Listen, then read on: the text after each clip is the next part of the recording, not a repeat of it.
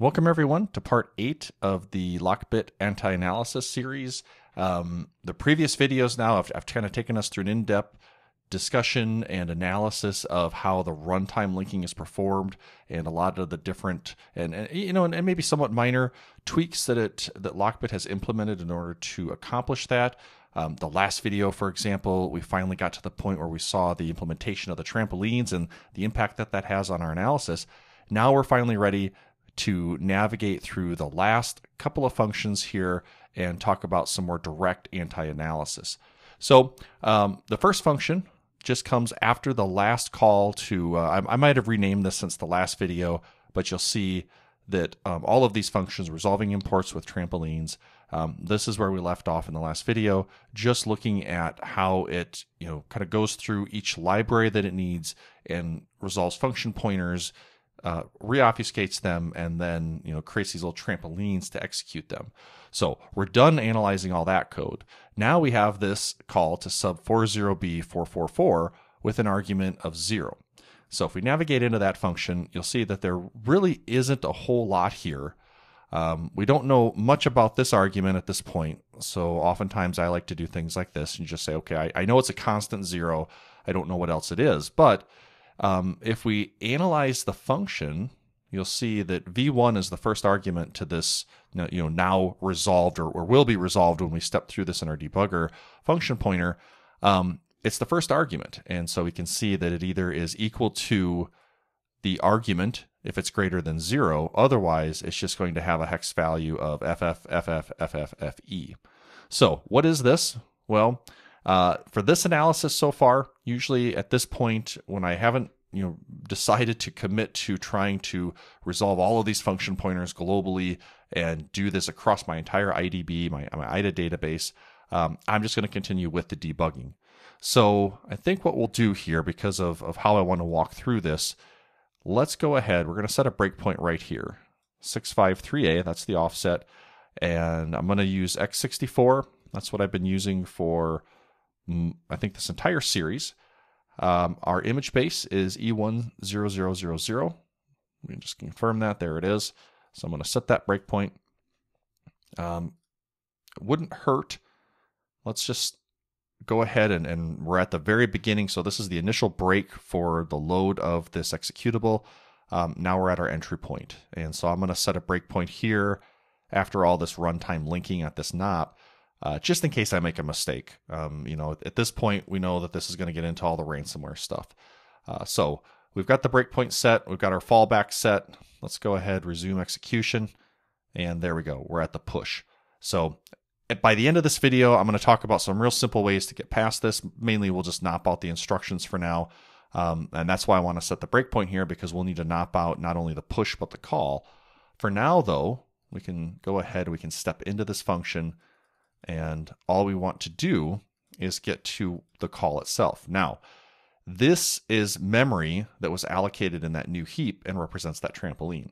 So we step into the call, you'll see that there is the obfuscated function pointer. The technique that was used for this particular execution then was to move that into EAX, rotate it right by five bits, and now jump EAX. So it's the jump EAX value, um, or what's now in EAX, which represents the actual API.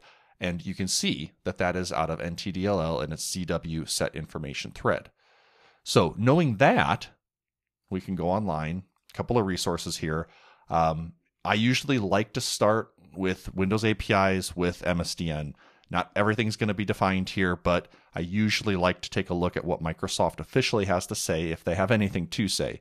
And here you can see that it is in fact documented. The first argument is the thread handle. So it looks like it's going to be utilizing um, this technique in order to det- essentially detach debuggers from itself.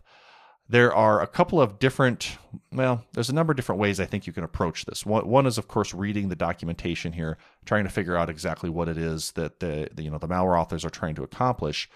Um, oftentimes, I find a quicker way is to just search for the technique, search for the API, and you might uncover techniques.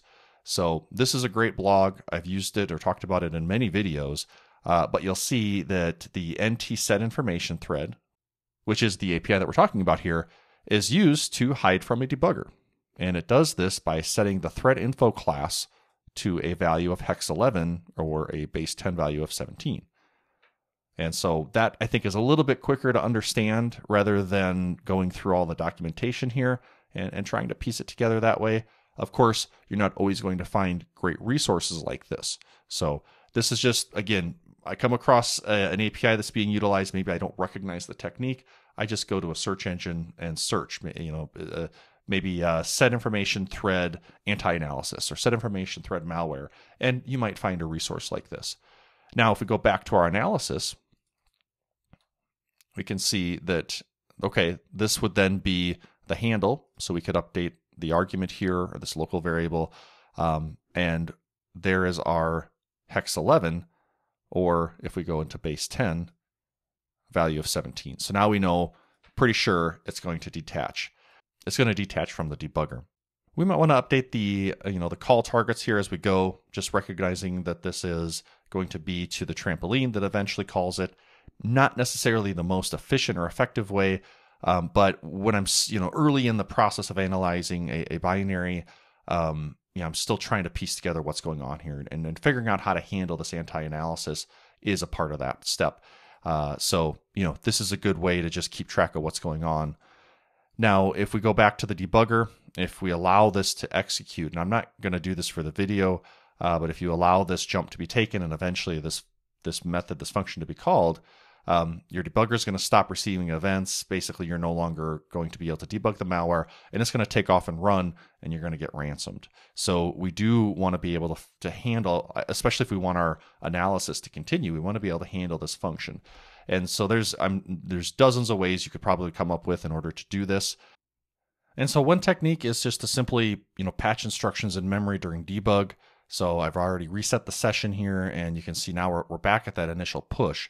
Um, we have to be a little careful here because if we just if we just knocked out, and that's ultimately what I'm going to do, but if we if we knocked out the call, well, that push would throw off our stack alignment. So we want to make sure to get all of the relevant instructions in the bytes x32, x64, we just have to hit the space bar. That'll put us into the assembly mode, and then we can just say, okay, let's knock out the current instruction. So that's only going to handle one byte, but then we can check this box fill with NOPs, and that'll get the rest of the bytes. So you can see this instruction, the push zero, is a two byte instruction that I'll knock out both of those. There we go. Um, we can skip over. That's actually the next instruction, which is now a NOP. And now we're to the call. And we'll do the same with that. We'll say NOP it out and fill with NOPs, and now that entire call is gone. And so now we can continue to step, and we're not going to deal with the call to that first level of anti analysis.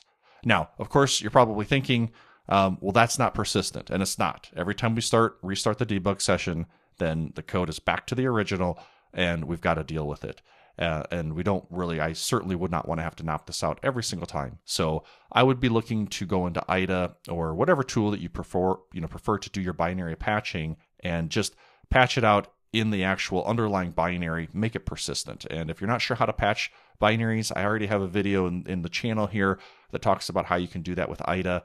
Um, so you'll be very, I think, be very easy for you to, to, to take a look at that and then apply that technique here with the binary. But essentially, you're just making sure that in the underlying binary itself, in the executable, you take the same bytes at these locations and knock them out so that you don't have to deal with that anti analysis. Um, of course, in the next remaining videos here on the series, we're going to tackle the last bit of anti-analysis. So likely what you would ultimately want to do is just patch all of the remaining bytes and get rid of all of the anti-analysis. But uh, we'll maybe save that for a final video here. Um, that's it one technique. I'm going to wrap this video up and we'll talk about the remainings here in the future videos. So hope to see you then.